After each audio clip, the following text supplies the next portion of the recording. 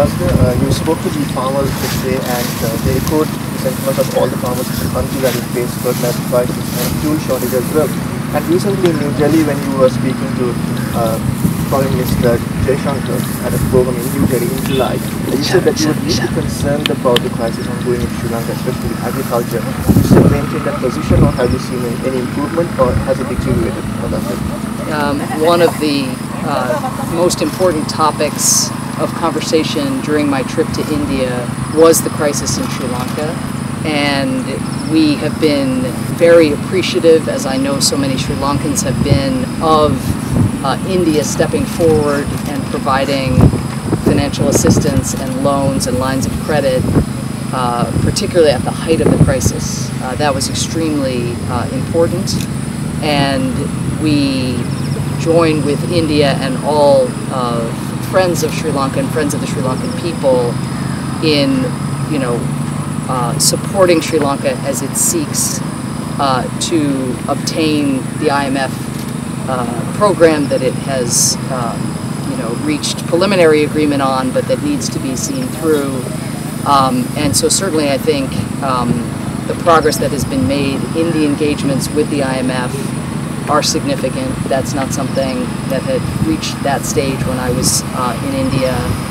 Uh, I think there are still very large questions about debt distress in this country uh, and how uh, the government can and, and Sri Lankans can get access to the kind of credit that they need uh, to keep the economy uh, fueled.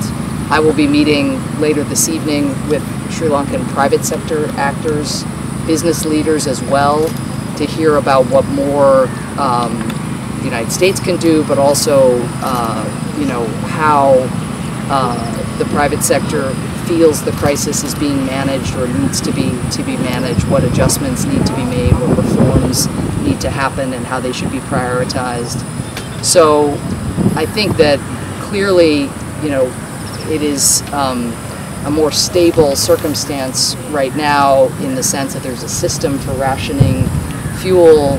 Um, it is more stable in the sense that there's now a new government um, trying to implement a set of reforms, but uh, it, it is extremely difficult for the people of this country. And I, I, you, you would know better than me whether people feel as if their quality of life uh, has improved. I've only just uh, arrived in the country, um, but I think it will take some time uh, and you know some more difficult months and more support from Sri Lanka's friends uh, in order to again help the people uh, get through this this um, uh, the, the kind of crisis that I think this country really never imagined that it would have to go through. I mean, never imagined defaulting on debt and never imagining wonderful farmers saying, we know how to feed people. You know, we, we, if we have the fertilizer, if we have the seeds, if we can keep the pests away, count on us.